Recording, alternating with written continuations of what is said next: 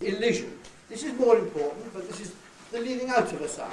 And you know, these two terms are strange. We've had terms for them for hundreds of years, really. Special words for it happening in language, you know, because elision means omission, that's all. But we keep a special word for it for uh, applied to language. Shows how conscious people have been of the fact that things do get omitted in the course of a piece of speech. In the same way with assimilation, we've had that term around for a long while uh, because people have been very uh, clear uh, that it was a linguistic phenomenon. But anyway, uh, I think this should cause you little trouble. If you turn up the top of the next page, the other reverse page, you'll see I give examples like breaststroke, first stop, masked ball, next time. I left the T out at the end of next uh, of the first word, the word next in next time. I just had the K and the S. That was quite enough to be saying before another T. Uh, if you try and put the, all those consonants in and say next time, you will slow yourself down unbearably and you'll sound very artificial. Nobody speaking normally in natural conversation says next time. Uh, of course, the, the, the sin here is the one of releasing a final T. I hope you know it's a rule of English allophones that if a, a word, a first word, ends in uh, a plosive consonant, but uh, and so on, and the next word begins with a consonant, not with a vowel, then you don't release that plosive consonant normally, really. You, you do half of that plosive and go on to start the next one. You don't quite complete it. So it's an unreleased or not fully released consonant.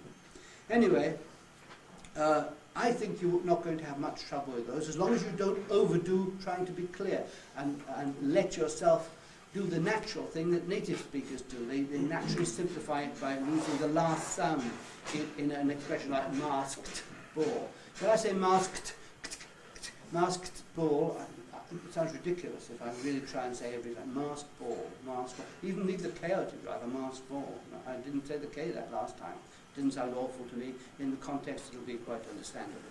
And I've given some examples there of very common uh, further assimilations that we make. You don't have to make, but we do quite often. In other words, we do, instead of saying a good deal, we often say a good deal, a good deal better. Uh, instead of take care, we, we, we sometimes say take care. Instead of pr prime minister, we say prime minister, prime minister. Um, prime being a word for peep into somebody else's business, uh, interfere. Um, Yes, sometimes people write letters to the newspaper objecting to the fact that uh, television and radio newsreaders have said Prime Minister instead of Prime Minister. Stupid thing to do because they say it all the time. It's just that uh, what one does find is that retired uh, uh, clergymen and retired army officers have nothing better to do but sit and, and, and watch television because they're on their pensions and, and there's nothing occupying their minds, so they, they rather start fussing over the way people speak on, in, in the television bulletins.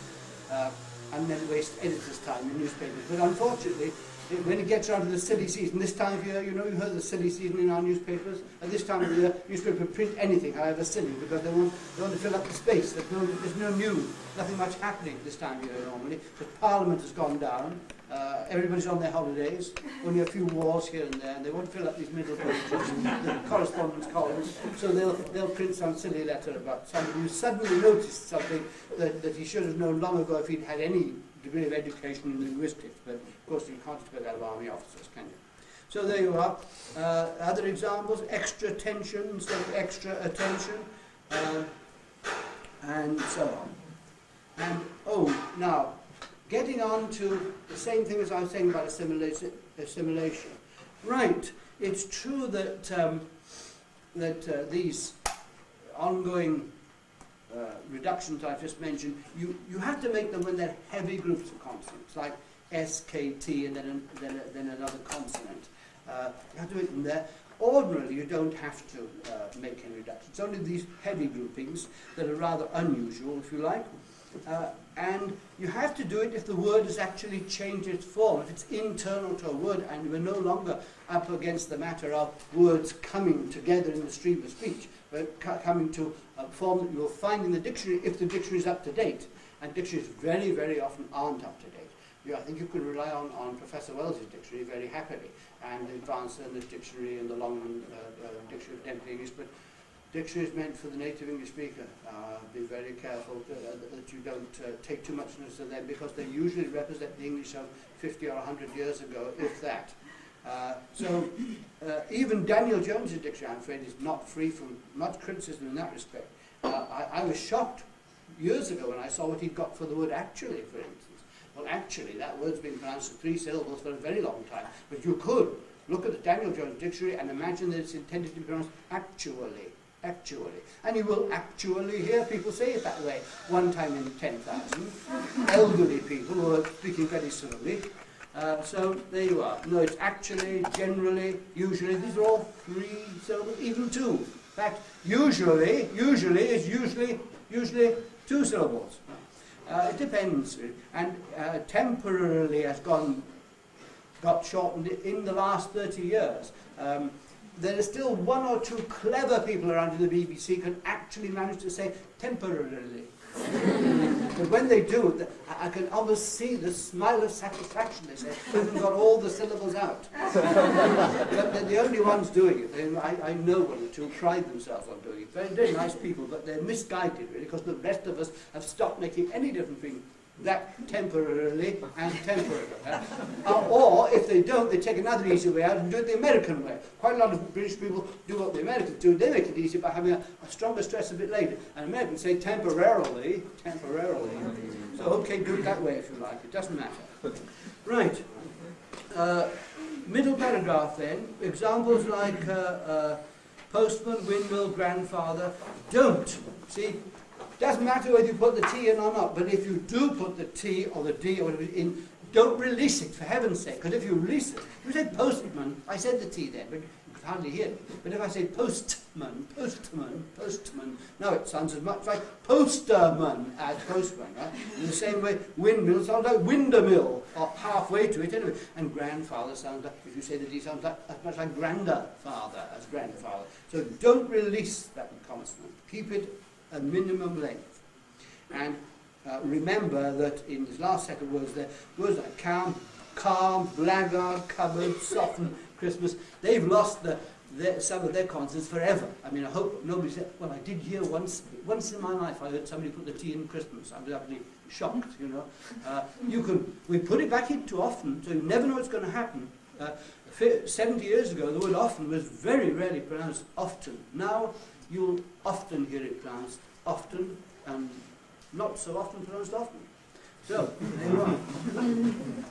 Uh, so, you, the thing is, of course, check with the dictionary about things like that. Cupboard, I'm sure you knew. Blackguard, probably you didn't know. Anyway, as it's not a very useful word, you can forget it again. But there it is. That kind of thing does happen. And finally, on the matter of uh, elision, I'll give you the, the most important tip, I think, really.